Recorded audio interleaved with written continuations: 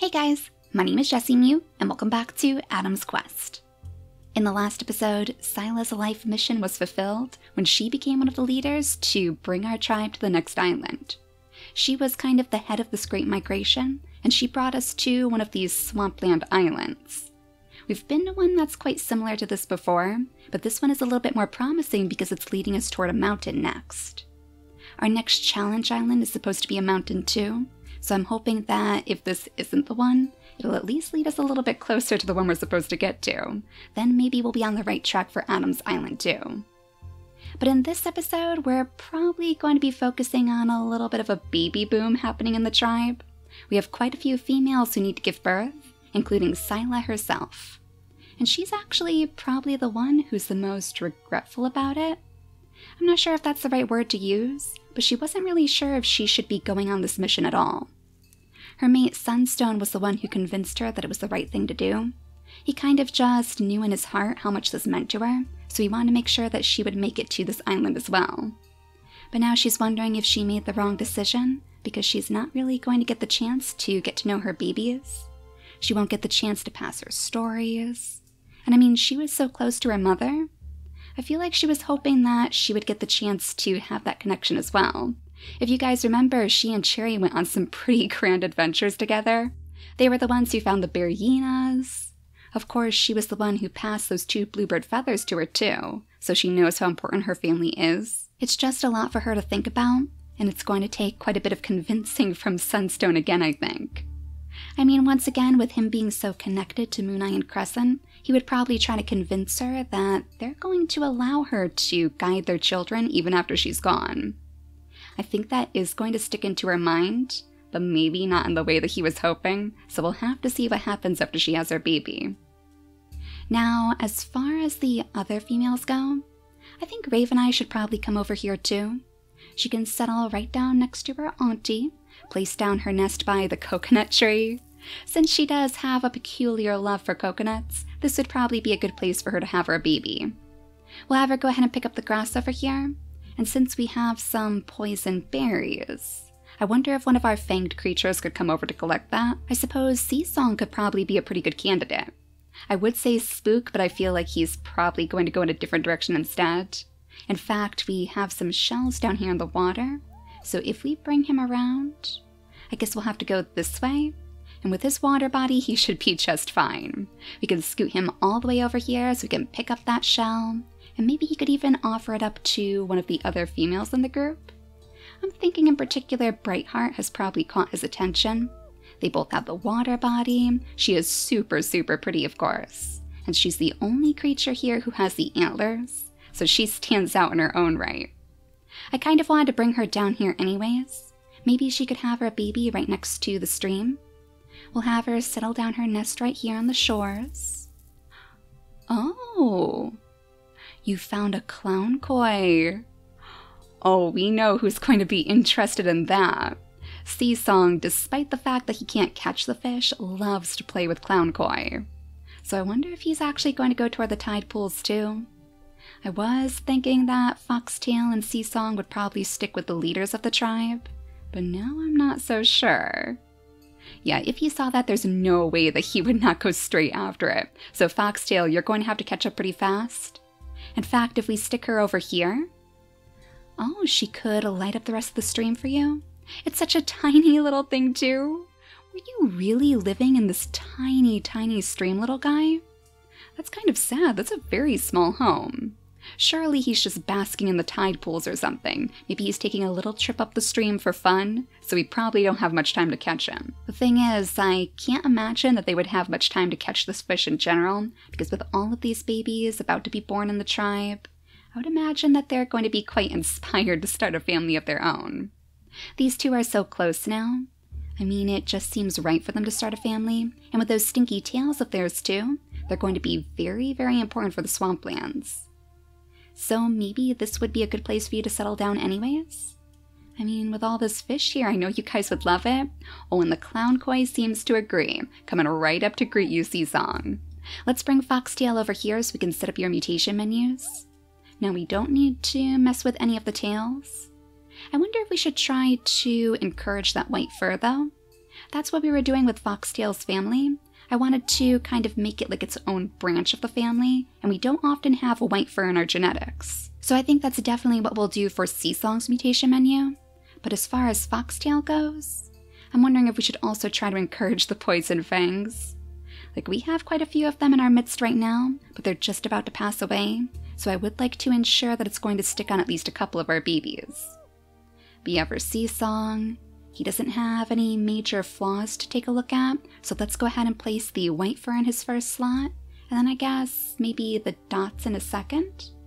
Yeah, that might be a good idea. That way they can keep that in their line too, so they're going to start a whole new branch of the family over here. We'll have him breed with her, and then she can settle down her nest. And now we're going to have four babies to take a look at in this turn.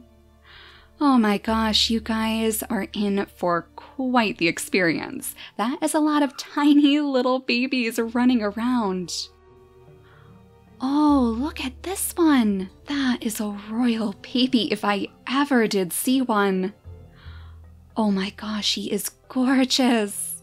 That orange fur and the black stripes. I mean, technically it's a mask, but they almost look like they could be Adam's stripes too. He has the poison fangs. Oh my gosh. I have never seen such a gorgeous tiger before. His name is Kurovan. I think we'll probably keep that because that is what we do with Adam's line. They always like to go with the old names. Though because he has the digging paw, I'm kind of wondering if he would lean a little bit more toward his father's side of the family. Maybe he's going to be a gravedigger just like he is, especially with that grand mask that he's wearing. It sure is nice to see the nimble fingers too, because that means he should be able to scoop up those poison berries that we found before. I guess he's going to be the one collecting from this berry bush. And he better get to know his cousin, too. Oh my goodness, do you have two Bergina claws? Oh, he is going to be a strong one, isn't he? A six in strength. Actually, the lean body isn't too bad mixed with the Bergina genetics, because that means he'll be able to move around a bit more easily. Oh my gosh, just like his mother, though he's dark as night. And those eerie black eyes with the purse now is always quite the sight. It makes him look very, very menacing, just like his father. I'm kind of surprised that they named this baby Vankir, though. Like, there is no way that this is any reincarnation of Vankir. He can't even collect, as far as I'm aware. With those two Bergina claws, I mean, there is no way that he's going to be able to pick from the berry bushes, unless he just slashes them down entirely. Maybe the reason why she chose that name was because she was hoping for a collector. She really wants some way to pick up these coconuts. But he's not going to be the one, Raveneye. I'm sorry to break that to you. You're going to have to rely on Kurovan instead. So one of the suggestions that one of you left for this baby was Beowulf? I hope that I'm pronouncing that right. It sounded really fitting, and especially for a Bergina baby, so little Beowulf is going to be an interesting one for us to follow for sure. But let's go back to his half brother. Isn't that interesting? Oh my gosh, they look so similar to their parents. I mean, you can't really tell that they have any Bergina influence aside from the Bergina claw. Now, this one over here is actually a little bit weaker, right? Because he only has one Bergina claw. Oh, the tiniest, tiniest bit weaker. It's actually because of that big body. You know, that might actually be pretty helpful though. If we are going to go to a mountain next, our creatures are actually going to be in for quite some trouble.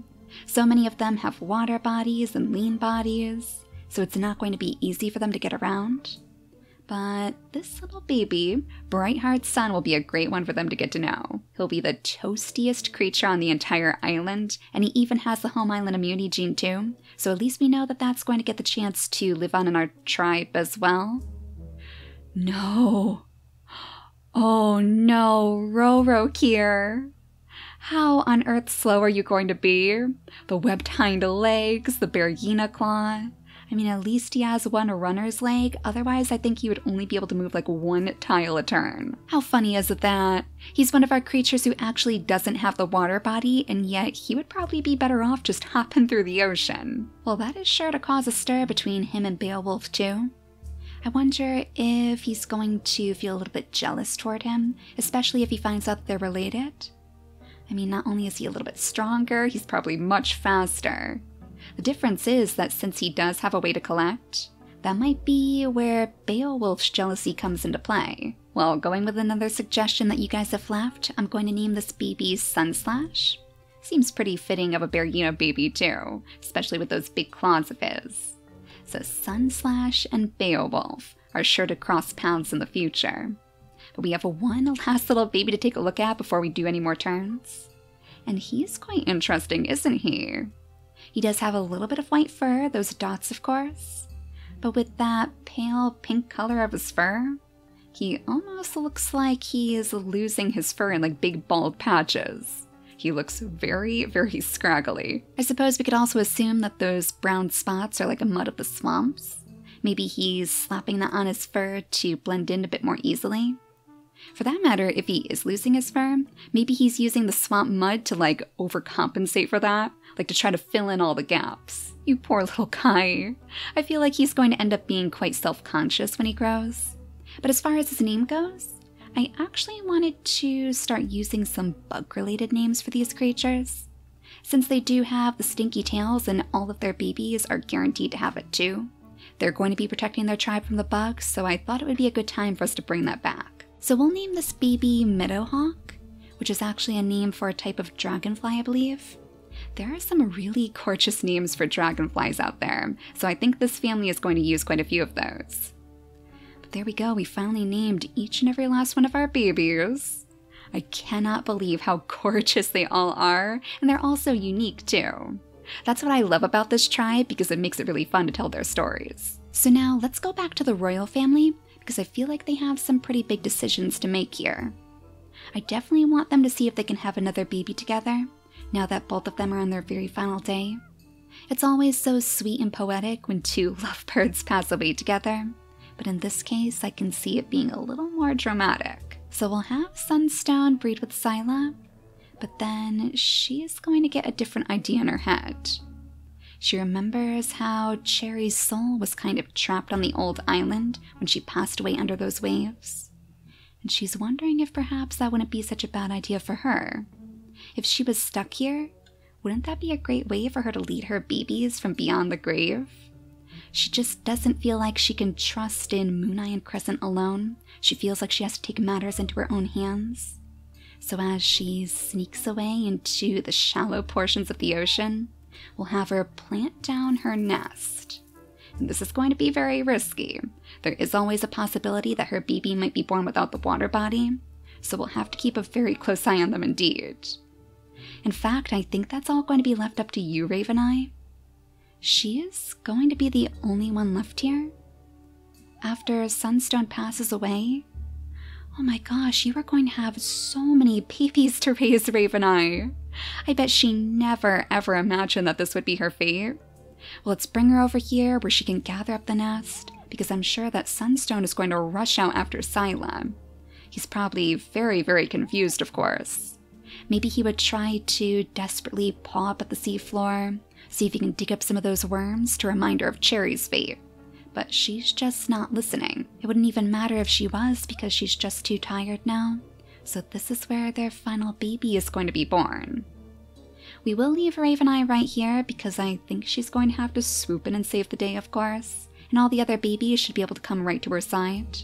It's a good thing she doesn't need much help because these creatures aren't likely to notice. Spook, after all, has his eyes still set on Brightheart, so maybe we should have him grab up that shell that he gathered the day before and bring it straight over to these quiet beaches. We already know that our pirate king can be pretty darn charming when he wants to be, so I feel like she would be smitten quite quickly. Maybe it would be a good idea for us to set up their mutation menus so they can have a baby together too. I do believe that we actually have one spot left open on each of their mutation menus, so this is actually a pretty good pairing for us to use. And we do definitely want to see that tail fin on more of our babies. I would love to see more mermaids popping up on this island too. Like, can you imagine? It seems like Spook is leaving mermaids behind on every single island that he visits. It's definitely a good way to mark his pirate conquest, I guess. So we'll place the tail fin into his second slot, and we'll do the same for you, Brightheart. And then we'll have her go ahead and breed with him. Oh no, it looks like it's going to take one more turn. Well, I suppose that's okay. They can spend one more night together, and then I'm sure that Spook is going to be off on his own again. He is our most restless creature of the tribe. So I guess that just leaves Foxtail and Seasong to hopefully carve out an area for their baby to play. Oh my gosh, and we actually have a berry bush back here too? Wait a second, Seasong. If you scoot on over here, then you can actually pick up some food for us. I don't think anybody else has really gathered up any food in the meantime, aside from Spook and his shell, of course. So let's see if you two can have another baby too. There we go, much, much easier than Brightheart. I think that's because of her infertility gene, of course.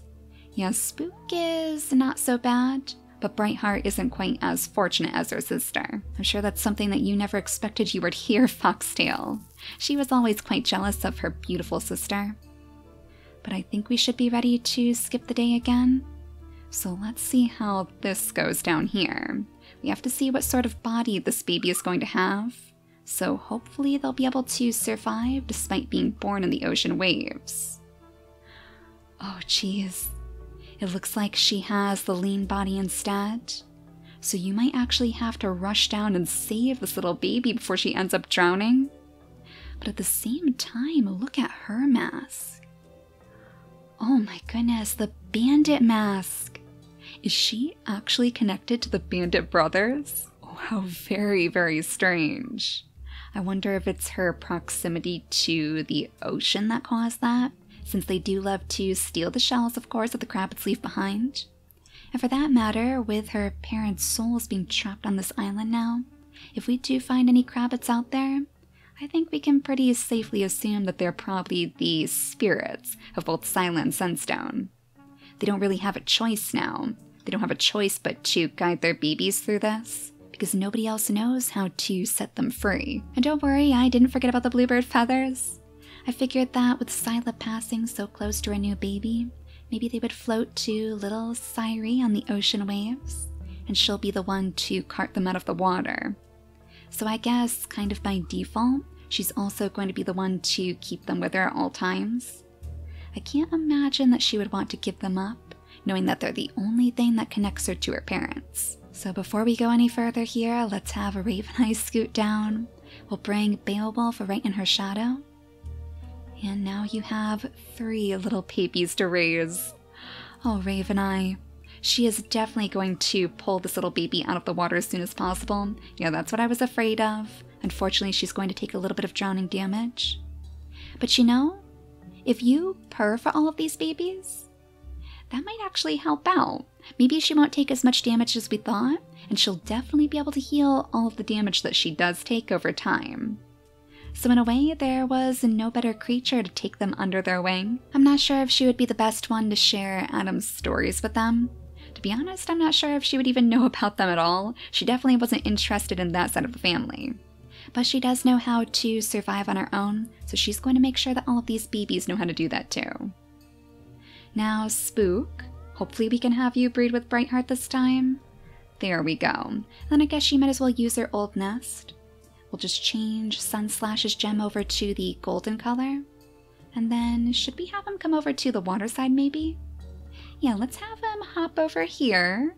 And then maybe he could try to grab up that clown koi once it comes swimming back down the stream. And as for you, Spook, I already know that you're going to go diving back into the ocean. He's probably saying that he's going to look for some shells or something, more food to bring back to his babies. And I mean, it wouldn't be a complete lie. That probably is what's on his mind right now, but who knows what sort of distractions he's going to find along the way. That's actually very similar to how he ended up on this island in the first place. Like he was going out searching for fish for his babies to eat, and then just so happened to hear about this great migration. Now let's see what your very final baby looks like over here, Foxtail. Oh my gosh, he's like a spitting image of you. Oh, how pretty. The same fur color, the same spots. Oh, Meadowhawk. He's probably feeling a little bit jealous.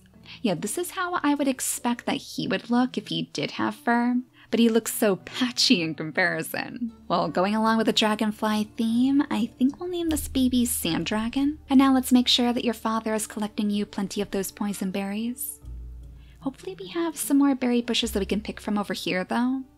It would be nice if we could gather up a little bit more food, because I am starting to get worried that we're going to run low pretty soon. I mean, once all the babies can collect the food as well, I guess it'll be okay. And they all should be growing up on this next turn too. So let's go ahead and pack up your final nest, Foxtail. And then I think we should be ready to skip the day. So let's scoot on back here so we can hopefully save Sayri from the ocean waves. Imagine she is going to take a little bit of that drowning damage. But at least it wasn't as bad as it could have been.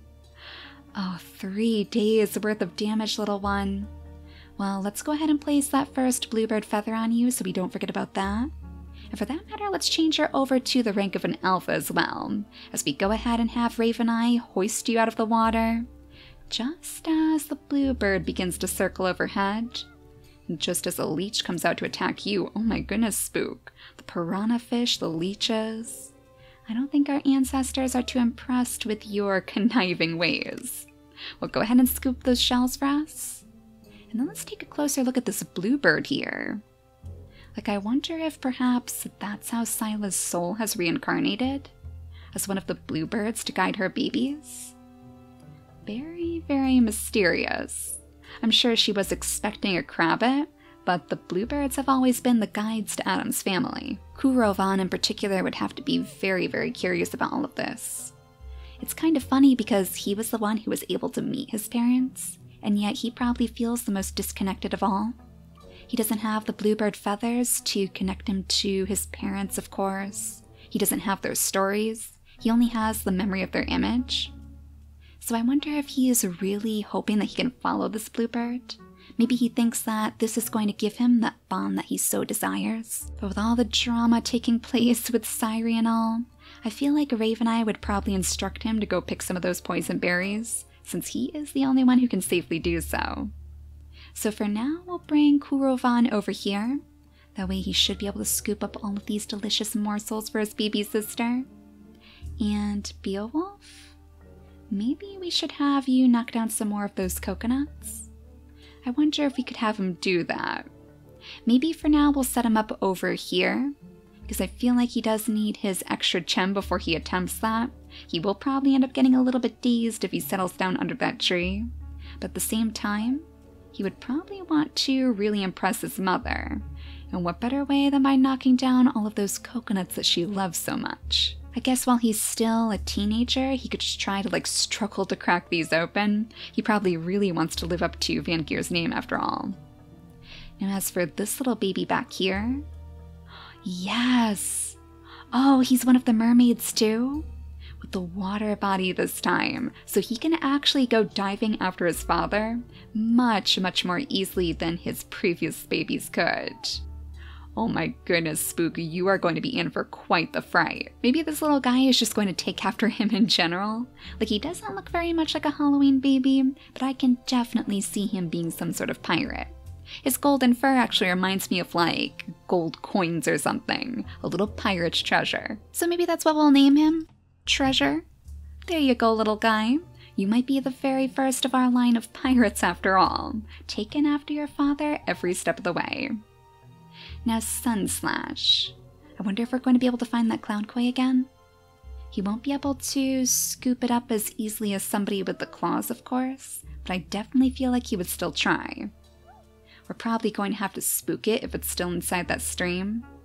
Maybe that would be a job best left to Seasong? He does have a Meadowhawk to watch after Sand Dragon, so as we go ahead and change their gems over, maybe this would be a good way for Seasong to remember his fallen mate too. They did love chasing after fish together, so he can teach his babies that too. Actually, we could even have Meadowhawk come on over here and take up his father's role of picking the sperry bush. And of course, you can pack away that nest that your mother made for you. But it looks like you're not going to have very much luck in here with the Clown Koi Sunslash. So I think you're going to have to go hopping into the tide pools after all. I guess we'll bring him down here. Ooh. Oh my goodness, the piranha is stalking you, Spook. Oh, that is terrifying. He's like peering from behind the sand. I wonder if he's calling his leech friends over to take him out after all. You know, Treasure, you might have to go jumping into the ocean sooner than you thought. Oh my goodness, Brightheart. The bird is actually directly over your babies? Well, geez, you better stay close by then. Go ahead and gather up that nest. pick up the grass over here. She's probably clearing out this area, expecting Spook to come back, of course. Oh, but I think he's actually being chased away by the piranhas instead. You're not gonna be seeing him anytime soon. So let's go ahead and skip the day one more time, so hopefully some more of our babies can grow.